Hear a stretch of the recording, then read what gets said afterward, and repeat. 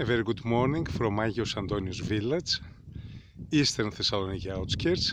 It is the 5th of January 2019 and after two days strong snowfall this is a wonderful picture that we are encountering. The whole plot has been covered with over 20 centimeters of snow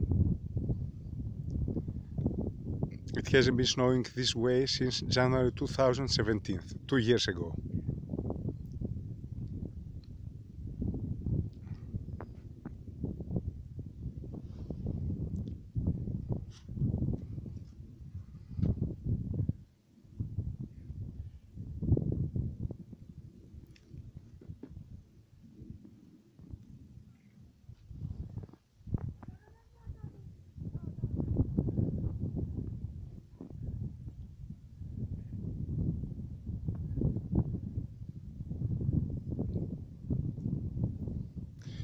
You can see how deep is the snow.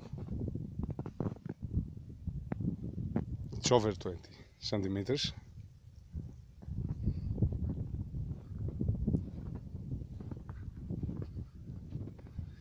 So chances are that if you come in Agios Antonios in the winter you might feel like you are in the Alps in a way. We are only missing the ski lifts and the ski centers but we have a sledge available for our guests.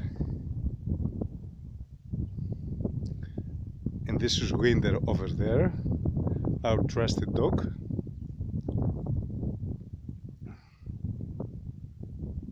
Agios Antonios is in a height of 250 meters, has a population of 800 people, a very good climate, and we are in a distance of 30 kilometers from Thessaloniki city center.